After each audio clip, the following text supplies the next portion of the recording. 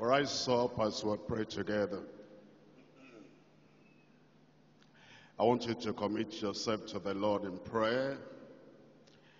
That this last Sunday will be a great impact and blessing upon your life. I was expecting you to pray. Open your mouth and tell the Lord that this will be a day of His power in your life, provision in your life, a new day, a new power, a new strength to carry you from the old to the new year. That the word of the Lord will not be lost on you. That you will not continue in the new year as you did in the past. For the word which you are hearing, the word we're learning will be of tremendous impacting, transforming, changing your life.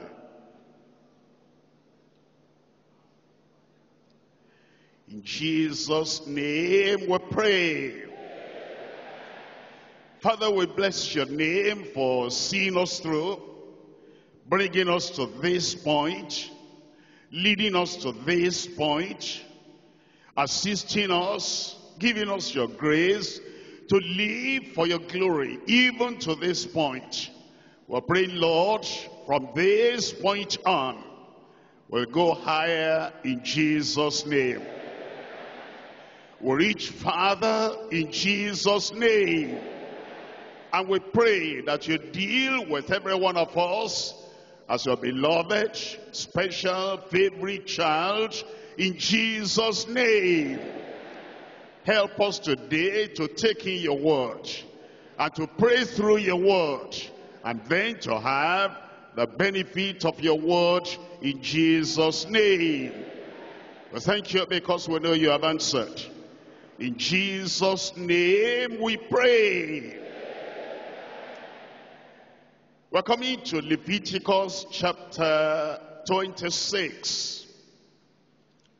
And I'm reading from verse 10. Leviticus chapter 26, verse 10. And ye shall eat old store, and bring forth the old because of the new. Somebody shout, Amen. You notice two words there, the old and the new. And here is the promise of the Lord. Here is the provision of the Lord. Here is the prophetic utterance of the Lord. That he shall eat the old store. You'll not forget the old store. You'll not cast out the old store. You'll not abandon the old store. And then it says, and bring forth the need, the old. Then it says, because of the new. Here the Lord brings together the old and the new. You should understand, we're getting to the new year. But we don't abandon the old house where we've been living. We can renovate it. We can paint it. We can make it better. But we don't abandon the old house. We can renew it as we come to the new year. You understand? Here we carry a body around. The same body that we used and had in the old year.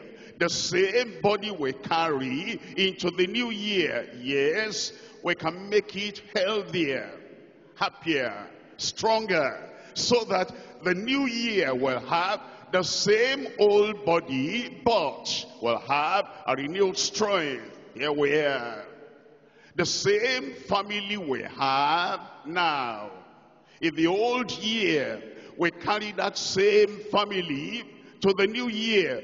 We can renew our covenant. We can renew our relationship and we can make better provision for that family, yet it's still the same family that we carry to the new year. There are many people that have the wrong idea that all that were learned in the old year all the consecrations were made in the old year. All the covenants were made in the old year. As we come to the new year, we abandon. And then we'll say we're starting afresh now. It is like we never had any conversion, never had any conviction, never had any consecration, never had any commitment. It's a new year now. That's wrong. The same conversion that we had in the old year, we carry to the new year. The same consecration we had in the old year, we carry to the new year. And the same commitment we had in the old year, we carry to the new year. We make it better. We make it higher and we make it stronger, but it's still the same old commitment and consecration we carry into the new year. There are many people that make mistakes. And they say, you see the Old Testament, we can close that up. We can cancel that. We can forget that. Let's rush and move on to the New Testament. That's wrong. The same God of the old. It is the same God of the new. And the same God that says, I am God, I change not. He brings us from the old, he brings us to the new. He may lift us higher, but we're built on the foundation of the old. And we stand on the strength of the old. And we obey all the words that he has given us, coming from the old to the new. Come back to Leviticus chapter 26, reading from verse 10 again. It says, and you shall eat old store and bring forth the old because of the new. Then it says, I will set my tabernacle among you. Amen. My soul shall not abhor you. I will walk among you. I will walk among you. If you don't abandon the old for the new, if you don't forget the old covenant totally because of the new, if you don't forget your old relationship with the Lord because you are coming to a new year, then he says, I will walk among you. And will be your God, and ye shall be my people. Verse 13, I am the Lord your God, which brought you forth out of the land of Egypt it says that, that old land, I'm, that, I'm still that same God. The old familiar territory. I brought you out of that. I'm still the same God. It says, I am the Lord. I'm bringing you out of the old year. I'm taking you to the new year. And it says, I'm still that same God that brought you forth out of the land of Egypt that ye should not be their bondmen. And I have broken the bands of your yoke. My yokes are broken. My fetters are broken. My oppression is taken away. It says, I have broken your yoke and made you go, tell me, tell me, upright. Made you go upright. The same feet were used in the last year, in the old year, walking in the way of God, walking in the path of righteousness, the same feet is going to be stronger, it's going to be steadier, and it's going to be faster. But the same old feet we had in walking uprightly, that same feet we still have. And we need to understand so that we don't have the erroneous idea. All the words we had at the retreat, everything is gone under the bridge, uh-uh, still the same. All the old things we heard in every study, in every service, in every retreat, all those old things the Lord gave us, we carry them without losing them. And we go into the new year. We're coming to Matthew chapter 13. I'm reading from verse 51. Matthew chapter 13 Reading from verse 51. Jesus says unto them, Have ye understood all these things? Everything we're hearing, the Lord is interested and the Lord is finding out, Have you understood all these things? And they said unto him, Yea, Lord, yes, Lord. Then said he unto them, Therefore, every scribe which is instructed unto the kingdom of heaven is like unto a man that is an householder which bringeth forth out of his treasure things. Tell me out aloud. Tell me again. Tell me if you understand. New and old.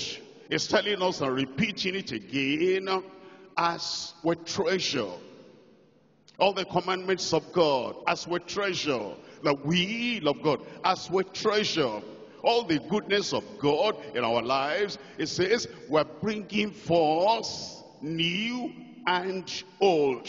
That is, we're not forgetting the old, abandoning the old, jettisoning, jettisoning the old, and burying the old because you know this is a new year. It says you bring forth both the old and the new.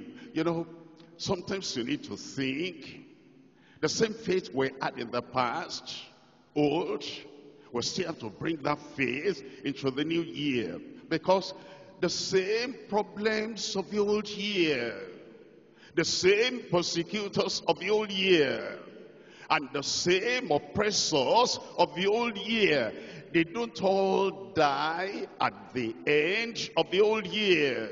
And as we come to the new year, we better carry our faith. We better carry our fortitude. We better carry our confidence. And we better carry our courage of the past going to the new make it higher, make it stronger, so that whoever rises up like the old time, in the new time, will thrash them, will conquer them, will destroy them. But let me show you something. Galatians chapter 4. Galatians chapter 4. I'm reading from verse 28.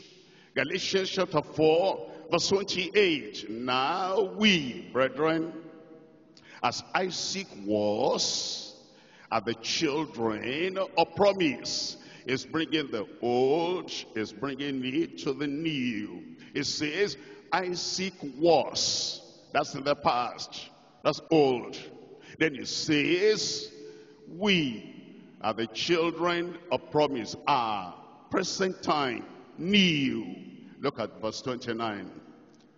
But as then in the old, as then in the past, as then in the time that is gone, as then he that was born after the flesh persecuted him that was born after the spirit, even so, tell me, it is now.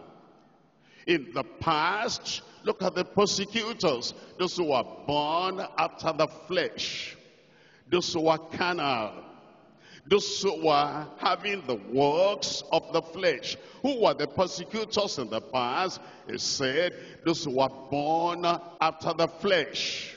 And the works of the flesh they will do. And he says, don't forget that, don't forget that, as we come to the new year, as we come to the new experience, don't think that those persecutors of the old are going to be different in the new. But thank God, we're going to have new strength. We're going to have new power. We're going to have a new engagement where we'll surprise every persecutor. You know, it, it is still the same. They may even multiply the techniques of persecution will surprise them. You will surprise them.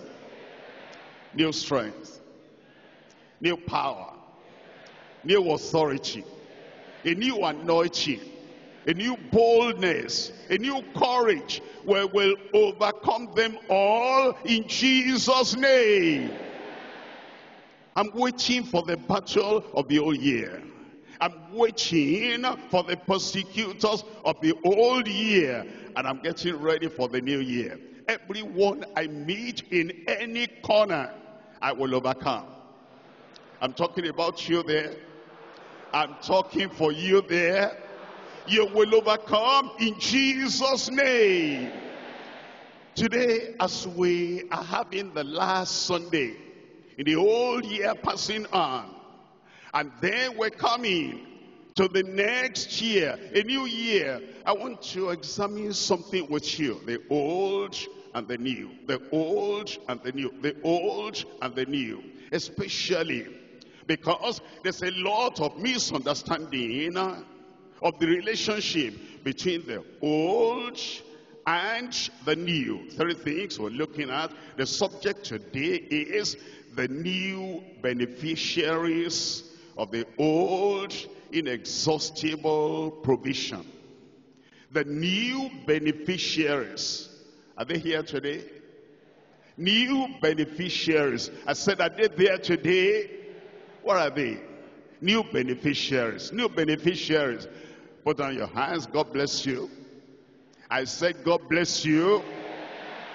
The new beneficiaries of the old inexhaustible provision.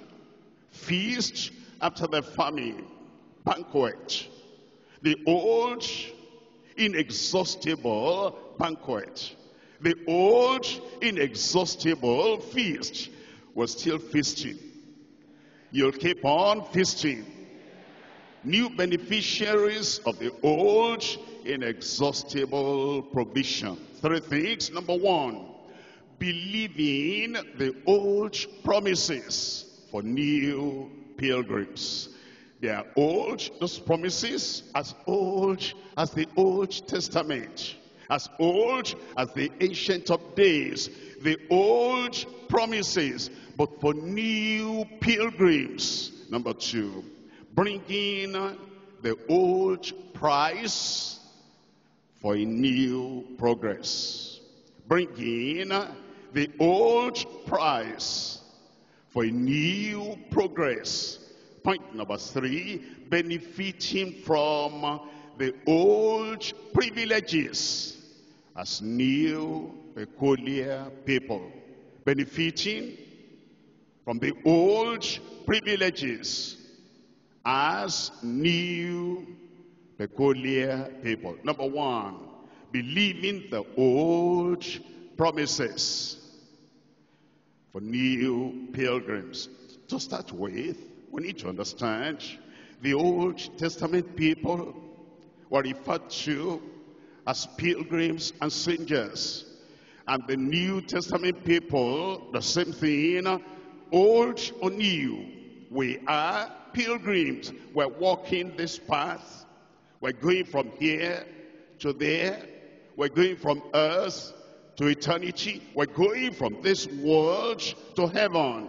As it was with them that were called pilgrims, so it is with us We're called pilgrims. Hebrews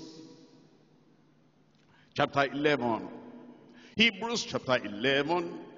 I'm reading from verse 13. Hebrews chapter 11 verse 13. These all died in faith, not having received the promises, but having seen them afar off, were persuaded of them, and embraced them, and they confessed that they were in the old, they were in the Old Testament, they were strangers and pilgrims on the earth.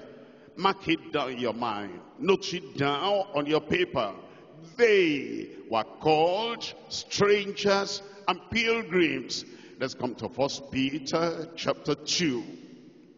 First Peter chapter 2. We're reading from verse 11.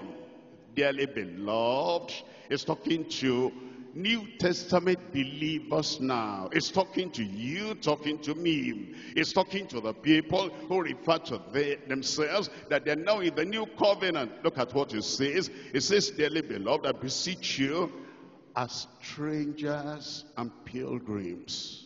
As strangers and pilgrims. The same thing that was said about the old covenant people, strangers and pilgrims. The same thing it says about the new covenant people, strangers and pilgrims. Abstain from fleshly lusts which war against the soul. What were the Old Testament promises? The old promises that saw them through, those people of the past. How did they get through? How did they walk the narrow way? What was their strength? What was their support? What was the standard before them? What were the experiences they had that made them stand? Believing the old promises for new pilgrims. Isaiah chapter 45 I'm reading from verse 22. Isaiah chapter 45, verse 22. Look unto me and be saved, all the ends of the earth, for I am God, and there is none else. What carry them through? Salvation. Salvation from God. God alone. And they are to look away from their idols Look away from their tradition. Look away from the past and look unto him because he is God and there is none else that can save. That's Old Testament. What does it say in the New Testament? Acts chapter 4 verse 12. Neither is there salvation in any other for there is none other name under heaven given among men whereby we must be saved. Have you noticed that? It's saying, look unto Christ is the only Savior. Look away from darkness. Look away from occultism. Look away from tradition. Look away from religion. Look away from every other thing and look unto Jesus because there's no salvation in any other. In the old salvation, in the new salvation. We're coming to Psalm 130. Psalm 130. I'm reading from verse 8. The old pilgrims, the old time believers how did they get through? On the basis of the promises of God. Number one, promise for salvation. Psalm 130, I'm reading from verse 8. Psalm 130 verse 8, and he shall redeem Israel from how many of his iniquities? All his iniquities. That's how they got through. It's the promise of redemption. He shall redeem Israel from all his iniquities. Turn with me to Titus chapter 2. We've read what kept the old victorious. What kept the old people confident, conquering, redeemed from all iniquity. Titus chapter 2 verse 14. Who gave himself for us that he might redeem us from, somebody there tell me out aloud, all iniquity and purify unto himself a peculiar people zealous of good works. In the old, he will redeem Israel from all iniquity. In the new, the same promise we carry to the new. And it says, Christ gave himself on the cross sacrificed on the cross, shed his blood on the cross, that he might redeem us from all iniquity. The same old promise.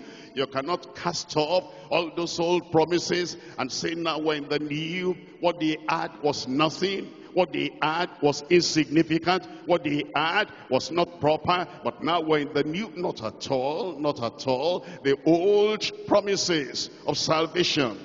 The old promises of redemption from all iniquity. Those things are still standing out today. I'm coming to Exodus chapter 32. Exodus chapter 32. And I'm reading from verse 33. Exodus 32, verse 33. And the Lord said unto Moses, Whosoever have sinned against me, him will I blot out of my book. Oh, we say, is that a promise? Yes. That's a promise. It says, whosoever shall call on the name of the Lord shall be saved. That's a promise. And after that salvation, whosoever will turn back, forsake me, abandon me, and go into deliberate sinning or sinfulness, I'll blot out his name, I will. It's not done it yet, it's waiting. If somebody goes back into deliberate willful sinning, I will blot out of my book. That's what he said. That's the promise in the old. Come to the new now. We're coming to Revelation chapter 3. I'm reading from verse 5. I'm showing you that we carry the old into the new. And we don't say that's old, and then when the new, the same thing, we carry the old into the new. Revelation chapter 3, I'm reading from verse 5. He that overcometh, the same shall be clothed in white raiment and I will not blot out his name out of the book of life. He overcomes. He doesn't sin. He overcomes is uh, victorious, victorious over sin. And because he's victorious over sin, I will not blot out his name out of the book of life, but I will confess his name before my Father and before his angels. What if he doesn't overcome? It's right there. If he's not an overcomer, if he's sinful, if he's a backslider, if he goes back to Satan, if he goes back to his idol, I'll blot out his name. But if he keeps on standing and he keeps on overcoming, he that overcometh, I will not blot out his name. Come to Exodus chapter 15. Exodus chapter 15 in the Old, verse 26. The promises of the Old that follow us into the new. Exodus chapter 15, verse 26. And said, If thou wilt diligently hearken to the voice of the Lord thy God, and will do that which is right in his sight, and will give ear to his commandments, plural, and keep all his statutes, plural, I will put none of these diseases upon thee, which are brought upon the Egyptians. For I am, as I was, I am I am the Lord. What does he do for you? That He heals thee. That's in the old. That's in the old. It says, we listen to his commandments. We obey his commandments. We walk in the paths of righteousness. He says, you know what I'm going to do for you?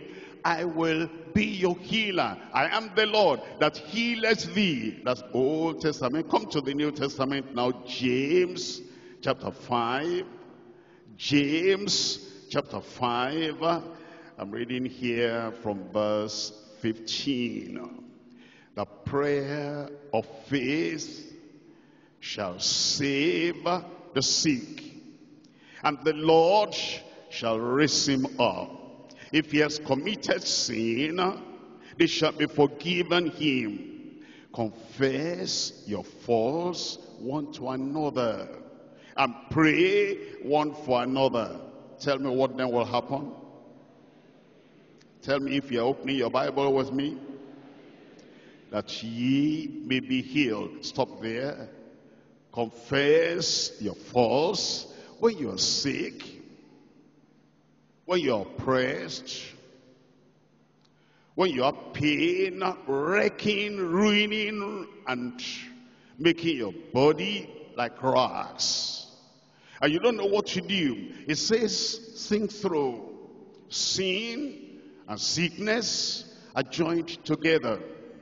Sin and suffering are joined together.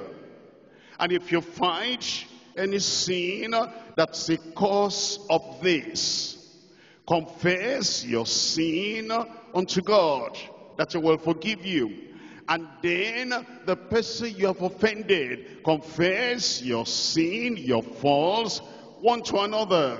And then pray one for another, that she may be healed.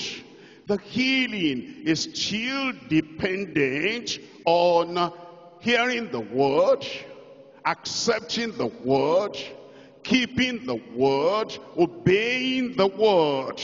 You cannot say now, this is New Testament. God, heal me. I'm going to use the healing to serve the devil. But heal me anyhow. No, it says, sin no more, lest a worse sin come on thee. That's why it says, confess your faults one to another, that she may be healed.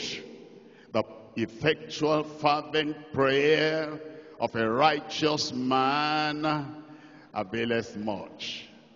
I didn't see here an amen there. Let's look at Job chapter 5. Job chapter 5. You know what we're doing? We're looking at the promises of the old that we carry into the new. We don't abandon the whole of the Old Testament and say, now New Year is coming, a new dawn is coming, and I'm moving on to the new year, forget about the old. No.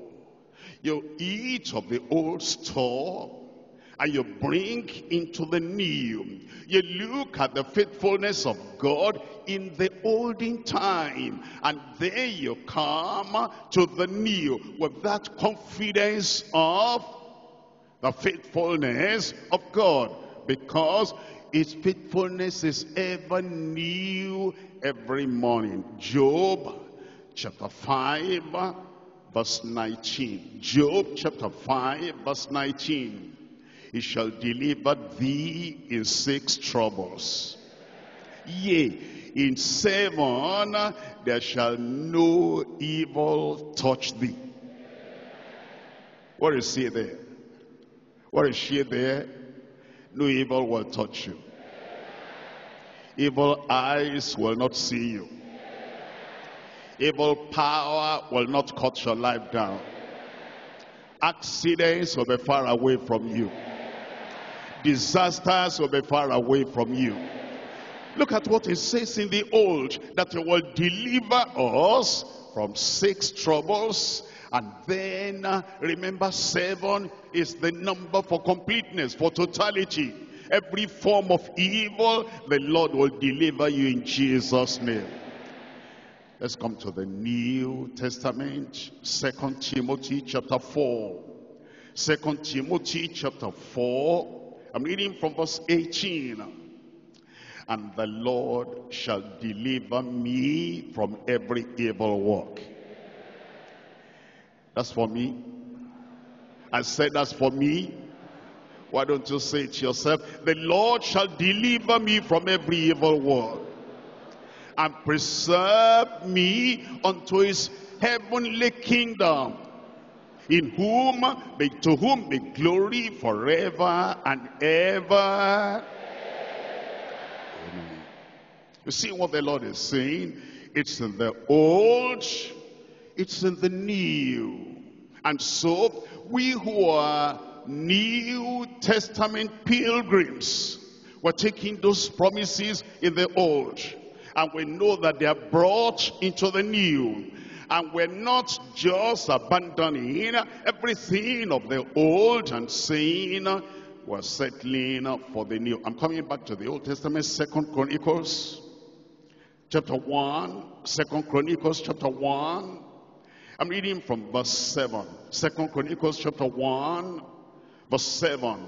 In that night did God appear unto Solomon and said unto him, Ask what, what I shall give thee. Ask what I shall give thee. Verse 10.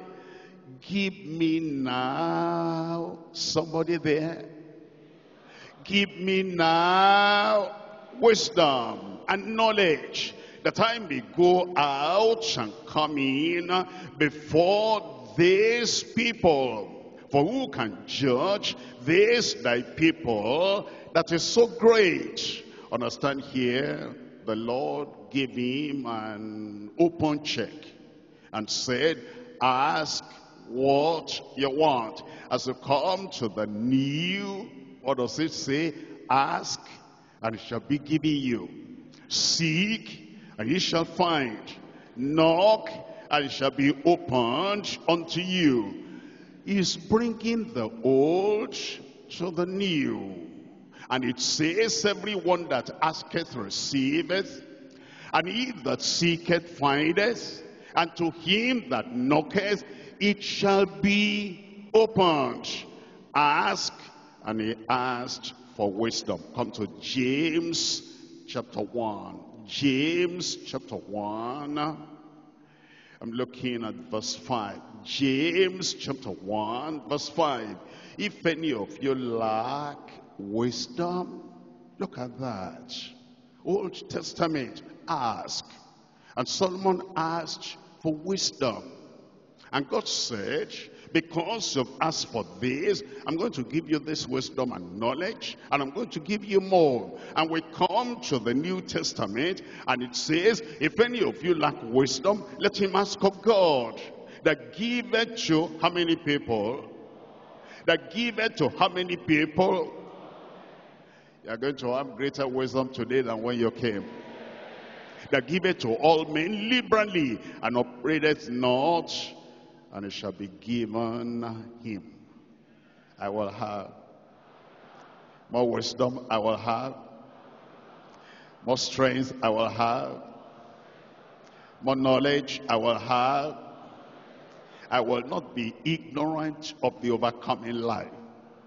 As you come into the new year, all the wisdom you need to overcome, the Lord will give you. All the knowledge you need to bring the enemy before your Christian life, to bring him down, you will have. And all the power, all the courage, all the strength, all the backbone you need to give you the strength to overcome in the new year, the Lord will give unto you in Jesus' name. Look at Psalm 57. Old and then the new. Psalm 57. In Psalm 57, I'm reading from verse 2. Psalm 57, verse 2. This is so important. You know, uh, there are many people that do not understand that all these things were there for the old time pilgrims. And then they don't know also that the same promises that were available for the old time pilgrims are available for the new time, New Testament pilgrims. Psalm 57, I'm looking at verse 2. I will cry unto God most high, unto God that performeth, that performeth that performance as we come to the new year. And then any challenge faces your life. You remember, that challenge is under the theme, the title, and the topic of all things. I'm looking at victorious people. I'm looking at conquering people. Nothing will drive you back from the way of victory, accomplishment, and success in the new year in Jesus' name. There is a God in heaven, and he performs all things for me. He will do it for you. underline those words, all things for me. Matthew chapter 6. I'm reading from verse 33. Matthew chapter 6, verse 33. But seek ye first the kingdom of God and his righteousness, and all these things shall be added unto you. The same thing is said in the old. The same thing is said in the new. He performeth all things for me. And in the new, as you go into the new year, there'll be no failure in your life. As you pray, there'll be no disappointment. As you seek the Lord, you will find the Lord. The watchword for you this coming year all things. Performed in your life, all things. Done in your life, all things. He'll perform it for you in Jesus' name. Romans chapter 8. I'm reading from verse 32. Romans chapter 8, verse 32. He that spared not his own son, but delivered him up for us all. How shall he not with him also freely give us? Also freely give me? Also freely give me? You have it. It will be done. Even from this morning, in the old year, that's about to pass away and you're coming into the new year, you'll carry a basket of blessings of all things. Of all things. I said of all things. Believing the old promises for new pilgrims. Point number two. Bringing the old price for a new progress. Bringing the old price for a new progress. There are many people that want to have progress.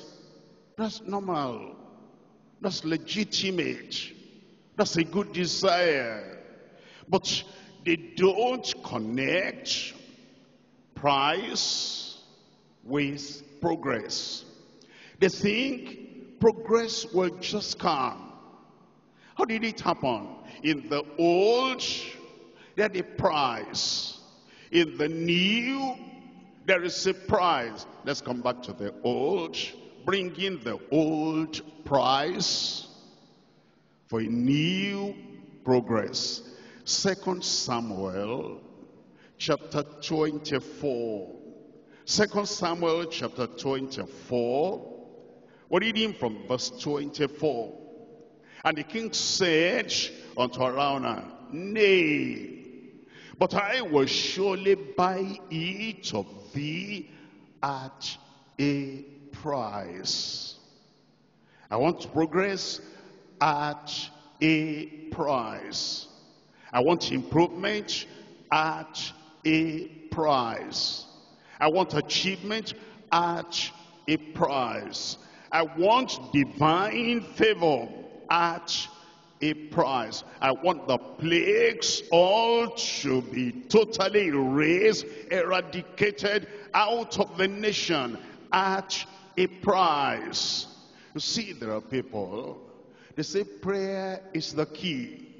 And there's no price to that prayer. There's no self-denial to that prayer. And there is no giving something, giving themselves to that prayer. There is no absolute surrender to the King of Kings for that prayer. That's a superficial prayer and it's not the key. It says, I will surely buy each of thee at a price. Neither will I offer burnt offering unto the Lord my God of that which does cost me nothing. Cost me nothing. Cost me nothing. Uh, there are some people, and I hope our church does not become like them. All they say, they meet somebody, they, speak, they say, speak a word in my life. They continue in their sin, speak a word in my life. They continue in their idolatry, speak a word in my life. They continue in their careless life in the presence of the Lord, speak a word in my life. Their religion costs them nothing. Their prayers cost them nothing. Their service cost them nothing. But here David said, I will buy each at a price. And I will not offer anything to the Lord that cost me nothing. So David bought the threshing floor and the oxen for filthy shekels of silver. And David built there an altar to the Lord and offered burnt offerings and peace offerings. So the Lord was entreated for the land and the plague was stayed from Israel. Price. The old price. If we're going to make new progress, Matthew chapter 13, New Testament now, Matthew chapter 13 uh, is still the same. We're reading from verse 44 and verse 45. Matthew chapter 13, verse 44, again the kingdom of heaven is like unto treasure hid in a field, which a man, which when a man has found, he hideth, and for joy thereof goeth and selleth all that he had, and buys the field. He selleth all that he had, and he buys the field. This is a man that knows if you're going to have treasure in the kingdom of God, there is a price to pay. In verse 45 again, the kingdom of heaven is like unto a merchant man seeking goodly pearls, verse 46, who when he had found one pearl of great price. Christianity is not cheap, of great price. Following the Lord is not cheap, of great price. Serving the Lord is not cheap, of great price. Having a place in the kingdom of God it's not cheap, of great price. He went and sold all that he had. And he bought it. He bought it. We're coming to Acts chapter 19, verses 18 and 19. There are things to give up, friends, if we're going to serve the Lord acceptably. There's a price to pay if we're going to make new progress in the new year in God's kingdom. Acts chapter 19, verse 18. And many that believed came and confessed and showed their deeds. Many of them also, which used curious arts, brought their books together and burnt them before all men. And they counted the price of them and found it 50 pieces of silver. You know what happened there? There were these people that came to know the Lord. And as they knew the Lord and believed in the Lord, there were things, materials of Satan in their possession. They didn't say, I'm a Christian now. I'm a believer now. And I bought these things at a great price. What will I do now? I know I cannot keep on using them. Okay, I know what I will do. I will find somebody who still wants to serve Satan. And I will sell them to him so that I can recover my money. They said, no, they can't do that. As they were slaves of Satan, and they came out of the captivity of Satan, and now they have the material, the regalia of Satan with them. If they gave it to another person, if they sold it to another person, that is saying that person should not be saved. When that person hears the word of salvation, and then somebody tells him, you have to give that up. Come out from among them. All the regalia of that gang, come out from among them. Then they will come to them and say, uh-uh, you sold this thing to me, and you know it is evil, and you know it binds me more to the devil, and you sold to me. That's why they could not sell to them. They could not give their friends the things that they were abandoning, the things they were throwing away, they must pay the price. If you're following the Lord, you have to pay the price. You have a shop that is full of alcohol, intoxicating drink. Now you've come to know the Lord. The price the people paid in the old is the price we pay in the new. You know what? The price is all those bottles of intoxicating drink will have to go. It's the price we pay. You have all those uh, dresses that the people of the world wear to trap men, to attract men, to destroy men, to pollute the minds of people, and to defile society. Now you say you come to know the Lord. Believers, there is a price to pay. And the price is, I cannot give this to another person and say, I am no more of the world. You are still of the world. This is good for you. Hell is good for you. Defilement is good for you being an instrument in the hand of Satan is good for you. Take this. No, you cannot do that. There's a price to pay. The price to pay is that you lose all the money that you used in buying them. You're now a believer.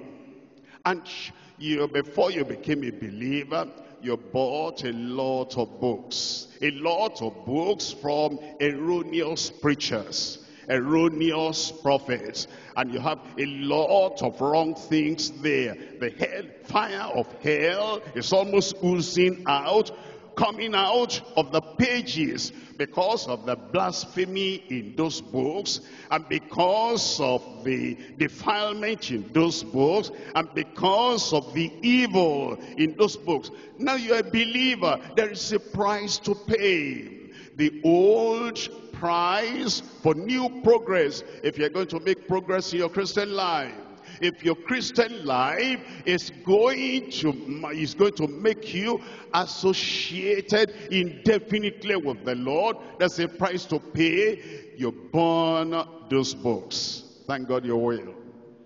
I said, thank God you will. Did your father hand over the title of idolatry to you? And it says, my son, or maybe my daughter, it says that this sin has been in the family from my great-great-grandfathers. It passed on to them, to them, and then to me, and now you are the next one in line. And you want to get to heaven. And you want to be saved. And now you give your life to the Lord. There's a price to pay. All those things your parents, your grandfathers handed over to you, everything will be rejected, everything will be burned, and you'll be free on your way, making progress to heaven in Jesus' name. Come back, come back. Acts chapter 19, I'm reading from verse 18. And many that believed came and confessed and showed their deeds. And many of them also, which used curious as, brought their books together and what did they do? What did they do? Secretly, How did they do it? Ah, now you are quiet.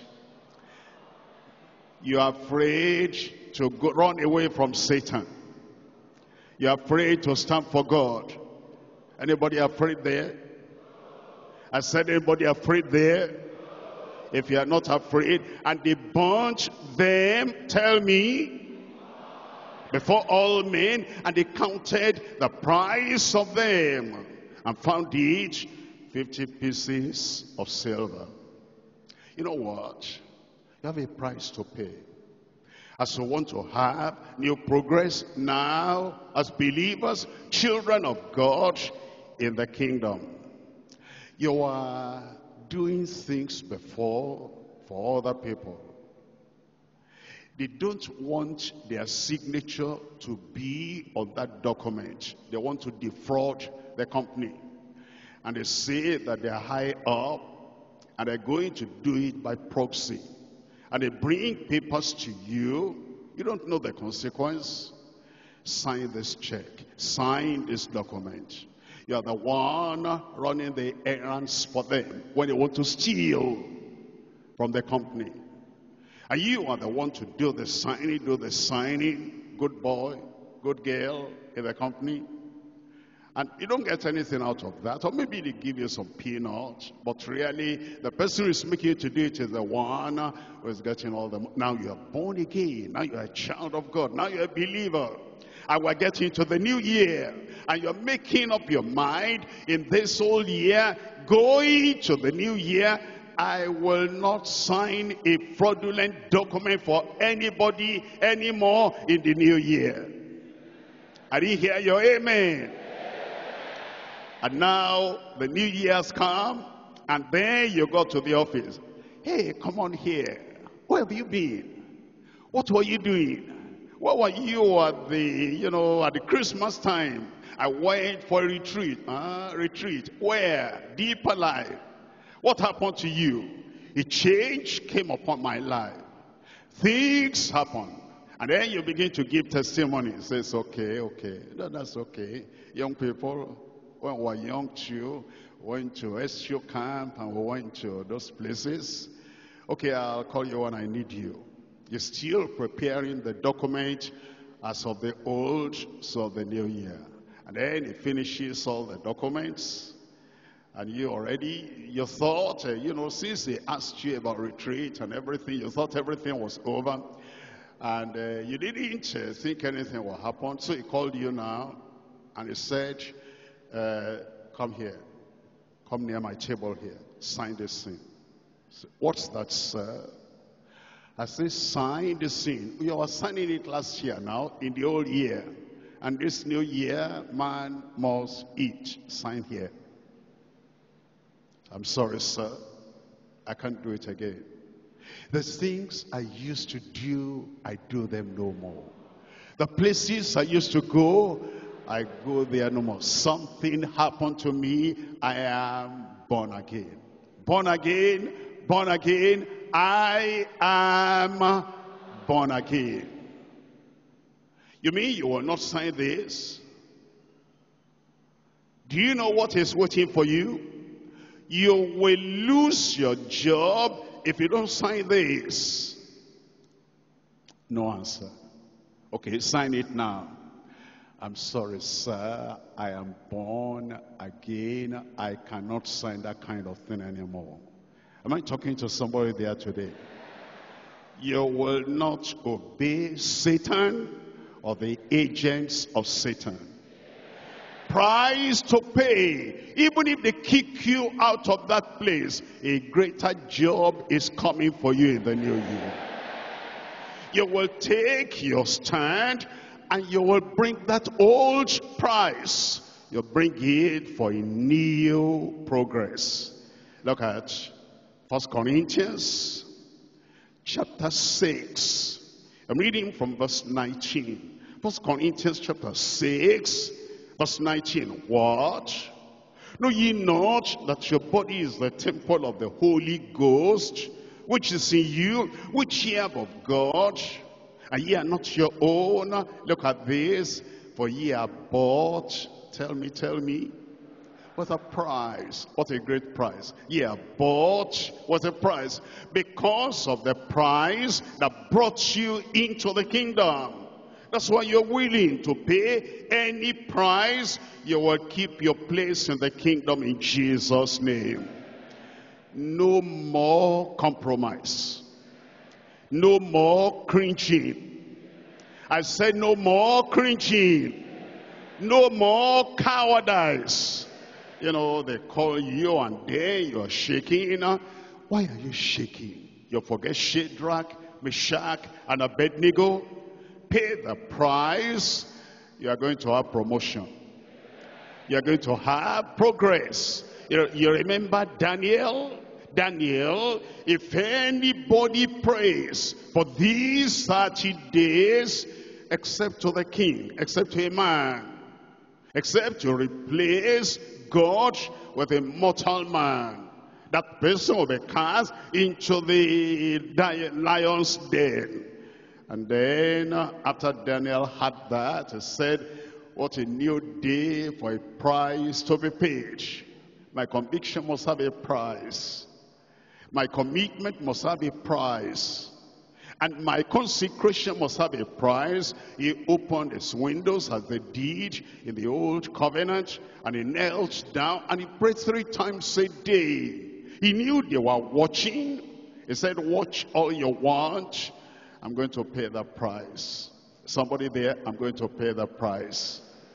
Somebody there, I'm going to pay the price. Look at look at that again, verse 20. For ye are bought with a price. Therefore, glorify God in your body and your spirit, which are God's. Glorify God in your body. Pastor, tell me, how do I glorify God in my body? Your hand, part of your body. You'll never write anything, sign anything that will not glorify God your feet, part of your body. You'll never use your feet and walk anywhere, drive anywhere. That will not bring glory to God. Your eyes, you'll never see anything. You'll never be interested in anything. The people of the world, they are, you know, excited about that thing, masquerades. And they are running after old men and old women and young adults, men and women. Masquerade has come, masquerade has come. And they're running after. Your feet will not follow them. Give me a good amen. Your eyes will not see them. No. All those uh, dirty things they show on the screen of any gadget your eyes will not see them. You know, you're looking for something on the internet, and then something pops up, and it says, follow this. No, I'm following Christ. I'll not follow that. I said, I'm following Christ. Anybody following Christ there? I am following Christ. I am following Christ. I will not follow that thing. Look up here. You know, some people, I don't know how they're following Christ. They were checking up something on their system. Legitimate thing. And then something pops up. Bad thing. Dirty thing. Defiling thing. And then they know what it is because it's written underneath there. And then they go there and they are feeding their mind with those dirty things with their eyes. And then their wife is coming. As the wife is coming, then they close it up and, honey, what's that? I'm just trying to look at news here. That's a lie. In the new year, you will not tell a lie. In the new year, you'll not follow after that defiling sin. There is a price to pay if you're going to make new progress in the new year. In fact, it tells us, First Corinthians chapter 7. I'm reading from verse 23. First Corinthians chapter 7, verse 23. Ye are bought with a price. Be not the servants of men. Be not the servants of men. Don't serve them in any evil way. I didn't hear amen from you. Driver, come. Madam has gone out of the house. And I want you, you know that woman you normally bring when madam is not at home. Quickly, quickly. Go and bring her before madam comes back. Sir, I'm sorry. What are you sorry about? I cannot go and take another person's wife for you anymore when madam is not at home. You will lose your job. You're going to be poor. You'll not pay your house rent. This new decision you have taken will wreck you and ruin you. Thank you. Okay, take the key. Five minutes, they're there, I'm waiting. I will not go, sir. That's the price. You will not go. I said, you will not go. I will not go. As a Christian, if I were walking with any man, any woman, anywhere, no matter how high his position, he wants me to help him commit adultery or commit fornication. I'm a Christian. I'm born again. I will not help him to serve Satan. If he wants to serve Satan, that's in his hand. I will not help anybody to serve Satan. Give me a good amen. And so, what if you lose your job? A greater job is waiting for you. We will pay the price and we will make new progress in the new year in Jesus' name. Psalm 4, I'm reading from verse 3. Psalm 4, and we're looking at verse 3.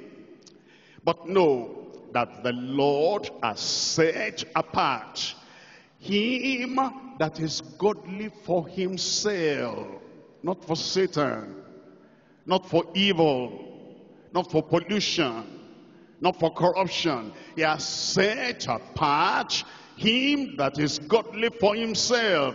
The Lord will hear when I call unto him.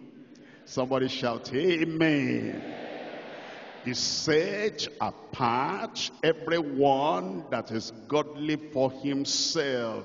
We're looking at Revelation chapter 4. Revelation chapter 4, I'm reading from verse 11. Revelation chapter 4 verse 11. We've read in the Old Testament is set apart. Him that is godly for himself.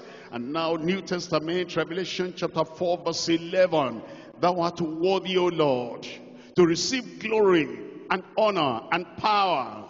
For thou hast created all things. Look at this.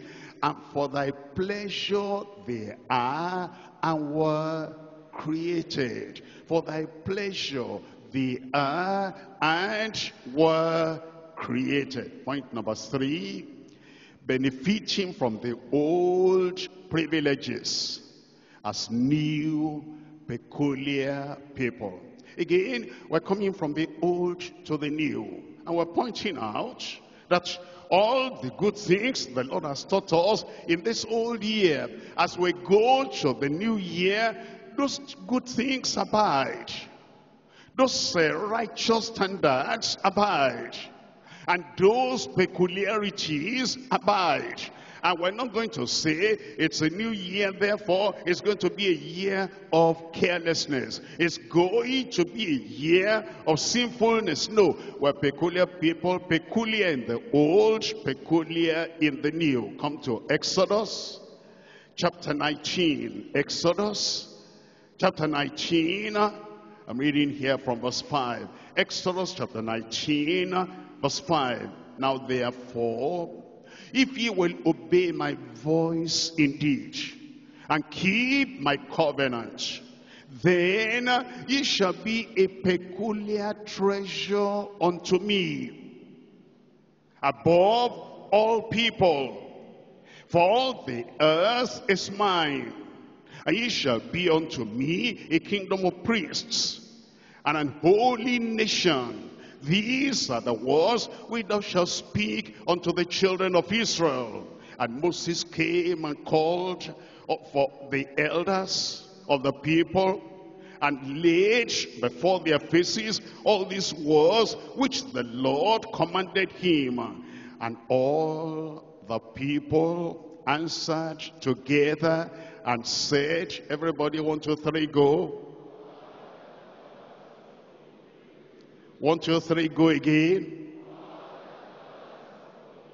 One, two, three, once again. All that the Lord has spoken, we will do.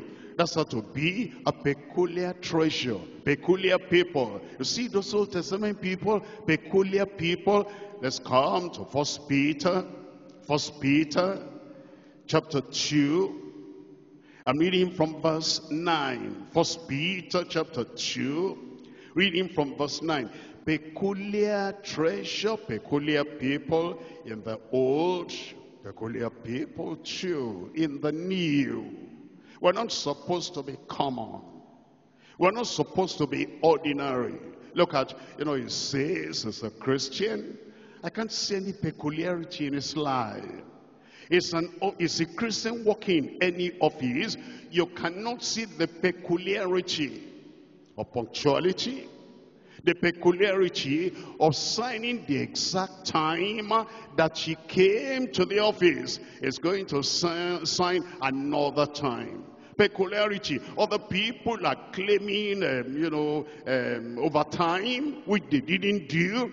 He, you cannot see any peculiarity in his life is just like the same. He's a Christian in a family. And this one, the family got married that way. This one, the family got married that way. When he's going to get married, he marries in the same way. You cannot see any peculiarity if you're a child of God.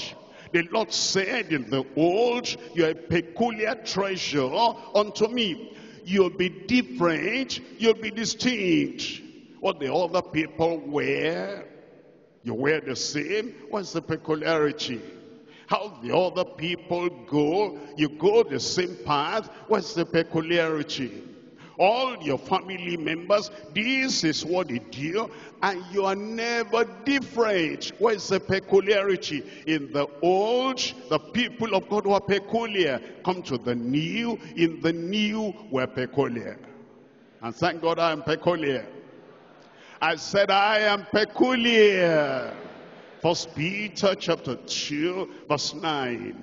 But ye are a chosen generation, a royal priesthood, and holy nation. Tell me what follows.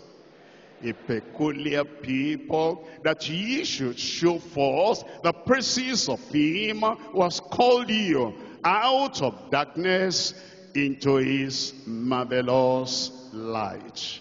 You will be peculiar. Come back to the Old Testament. I'm reading from Deuteronomy chapter 14. Deuteronomy chapter 14. I read here from verse 2. I'm reading from Deuteronomy chapter 14, verse 2. For thou art an holy people unto the Lord thy God.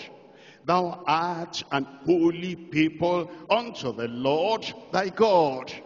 Not only on Sunday, not only on Saturday, Sabbath, every day, every time. If we belong to the Lord, we're holy unto the Lord our God. And the Lord has chosen thee to be a peculiar people unto himself. If they say you are odd, they're just saying what God has chosen you for. They say you're queer. They're just saying what the Lord has chosen you for. They say you're different. That's just what the Lord has chosen you for. They say you go to a church that will not hear the word that all the world, they are talking and they're making their noise and you will not hear the world. You're just, they're just saying what the Lord has chosen you for. He said, you'll be a holy people unto the Lord thy God. And the Lord has chosen thee to be a peculiar people unto himself above all the nations that are upon the earth. Deuteronomy chapter 26. I'm reading from verse 18. Deuteronomy chapter 26, verse 18.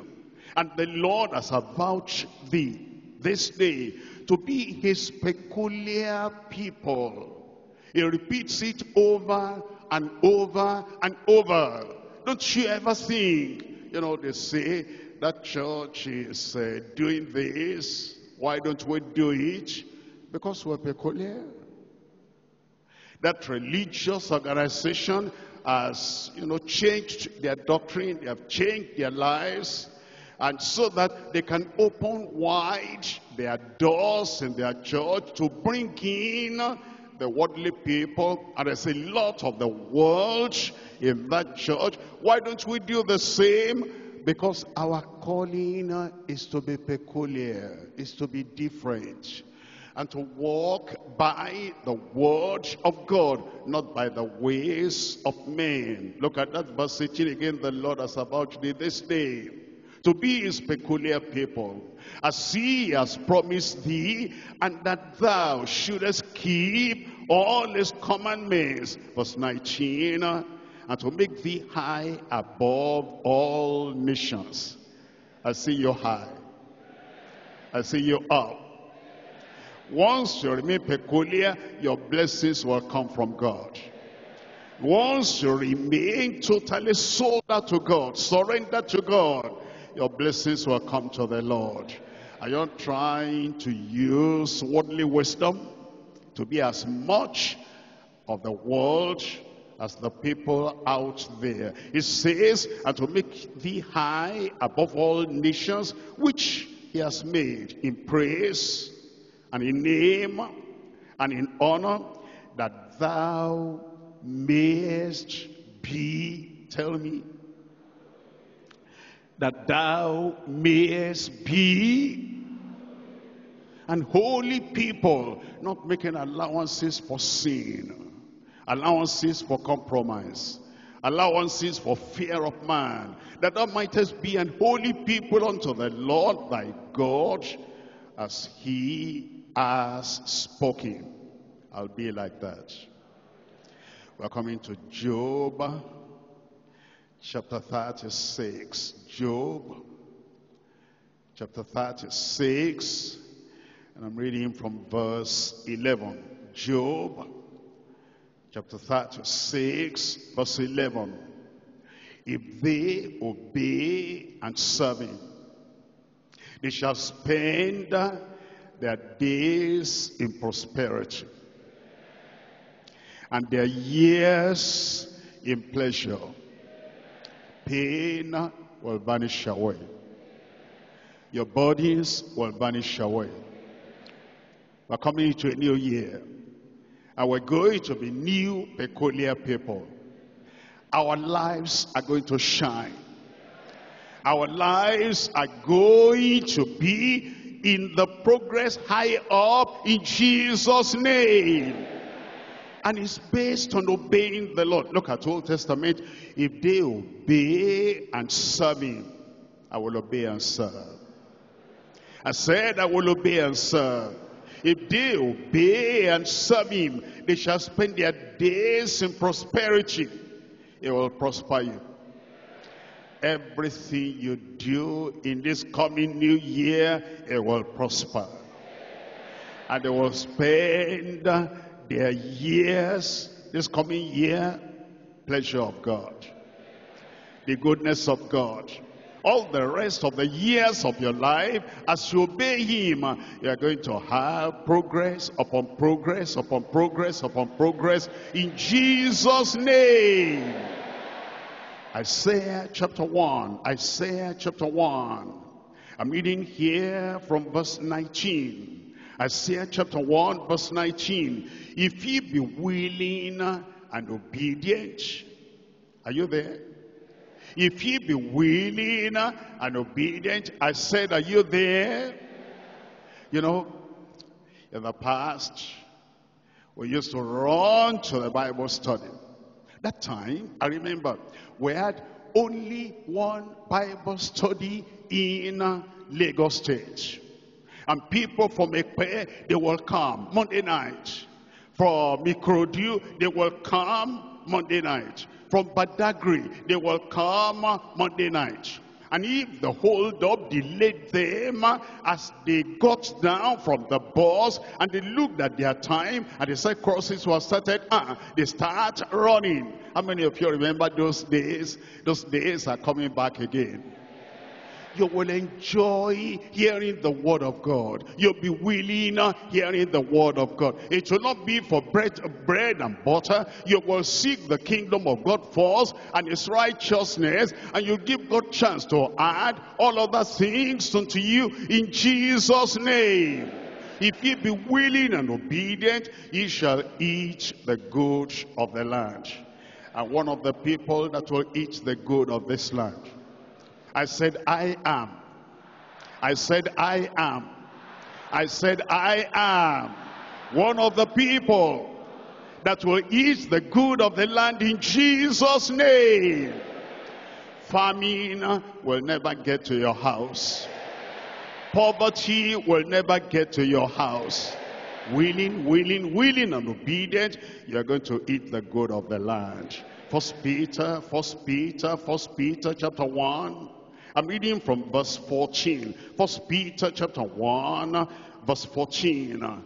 As obedient children, not fashioning yourselves according to the former laws in your ignorance, but as he which has called you is holy, so be ye holy in all manner of conversation, because it is written, tell me, because it is written, Be ye holy, for I am holy. What are we expecting now for the new year? Come to Second Peter, Second Peter, Second Peter chapter 1, verse 3. According as his divine power, he has given unto you, he has given unto unto us how many things? All things that pertain to life and godliness through the knowledge of him that has called us to glory and virtue. Virtue this year. Glory this year. Divine goodness this year. Whereby are given unto us exceeding great and precious promises that by these ye might be partakers of the divine nature, having escaped the corruption that's in the world through lust. Every bad thing in your community, you'll escape. Every hazard, every danger in your community, you'll escape. The promises of God will be yes and amen in your life in Jesus' name. First Kings chapter 8. First Kings chapter 8 verse 56. First Kings chapter 8 verse 56. Blessed be the God, the Lord, that has given rest unto his people Israel according to all that he promised, there has not failed one word. There will not fail one word of all his good promise, which he promised by the hand of Moses, his servant. Once again, I welcome you to this final Sunday service of this old year. And I now usher you to the new year with the promises of God. Before you, the promises of God. Behind you, the promises of God. On your left, the promises of God. On your right, the promises of God.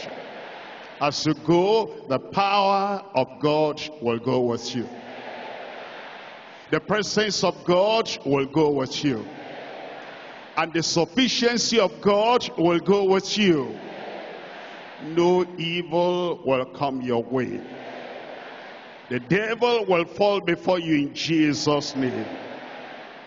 As your days are, so will your strength be. Deuteronomy chapter 33. Deuteronomy chapter 33. I'm reading from verse 25. Thy shoes will be iron and brass. As thy days, so shall thy strength be. There is none like unto the God of Jeshurun who rideth upon the heaven in thy hill, and in his excellency on the sky. The eternal God is your refuge. Underneath you are the everlasting arms. They shall thrust out the enemy from before you, and shall say, destroy them. Israel, the people of God here today, shall dwell in safety alone. The fountain of Jacob shall be upon a land of corn and wine. Also your heavens shall drop down dew. Happy art thou. Happy art thou. Happy art thou. Who is like unto thee, O people saved by the Lord? the shield of thy help, who is the sword of thy excellency. Thine enemies shall be found liars unto thee. Thou shalt tread upon their high places. This coming year, you'll go higher. You'll be the head. You'll not be the tail. You'll be in front. You'll not be at the back. Progress. Peace. Prosperity. Healing. Health. Deliverance. Dominion. Miracles upon miracles all over your life. Rise up and receive. Rise up and receive. Rise up and receive. It is yours. It is yours. It is yours. It is yours. Open your mouth and tell the Lord, the old promises are still for the new pilgrims. The old price must still be paid for new progress. And the old privileges still abide for the new, peculiar people. Let the Lord do a new thing in your life today as you move from the old and you move on to the new.